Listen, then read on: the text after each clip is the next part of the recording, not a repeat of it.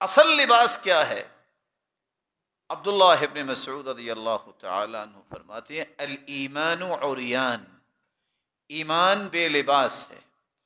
वजीनत तकवा. ईमान मुजयन होता है जब इंसान मुतकी बने। वलिबास हो अलहया. जिसने अपने ईमान को लिबास पहनाना है, ईमान का लिबास तो फिर हयाई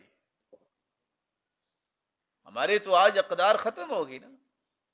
आज ढूंढ ढूंढ के वो कपड़ा खरीदते हैं जिससे नुमाइश ज़्यादा हो।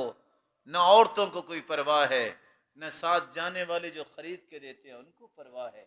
सईद आयशा रदी अल्लाह तहा के पास औरतें आई।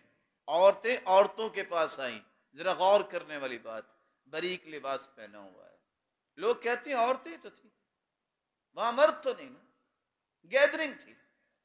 तो सईद आयशा फरमाती है, इन कुन तुन मोमिनत फलई सहाजा बिलिबासिल मोमिनत। अगर तो तुम मोमिना हो तो मोमिना औरतें इस तरह का लिबास नहीं पहनती। वह इनकुन बे। अगर तुम मोमिना नहीं हो तो फिर तुम पे कोई पाबंदी नहीं। फैसला कर दिया। ये जो बहाने बना रखे हैं आज जिससे इस्लाम के इस लिबास की तोहीन होती है, हया की धजियाँ बखेड़ी जाती हैं और कहा जाता है, औरतें तो थी। मोमिना औरत ऐसा लिबास पहन के औरतों के पास भी नहीं जाती। अवनिसाइकुम सूरत नूर के इस कलमे को मैं आपसे अदबन गुजारिश करूँगा। घर जाके पढ़िएगा। ये आयत नंबर इकतीस और बत्तीस का मुताला कीजिए। चौदह फरवरी से पहले निसाइकुम। उनका तस्करा हुआ है कि औरत किससे पर्दा करेगी? वहाँ ये भी है कि अपनी नेक औरतों के अलावा काफिर औरतों से भी मुसलमान को पर्दे में रहना चाहिए। कहीं वो जाके अपने खामदों को उसके हुसन की बात ना बता दे। इस्लाम कितना खूबसूरत दीन है। और इंसान आज इस इस्लाम के साथ क्या खलवाड़ कर रहा है? और फिर कहते हैं कि अल्लाह ताला की रहमतें नहीं आती, अल्लाह ताला की रहमतें किन पर आए? अल्लाह ताला की रहमतों का नजूल कैसे हो?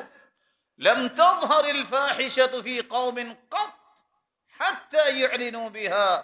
रसूल मकबूल सल्लल्लाहु अलैहि वसल्लम ने फरमाया था, मेरे सिहाबा, जिस कौम के अंदर एलानिया फहाशी और औरियानी आम हो जाए, इस कौम के साथ होता क्या है?